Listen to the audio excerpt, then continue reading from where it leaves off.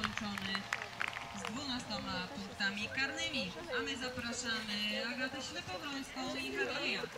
I po tym przejeździe rozpoczną rozgrywkę.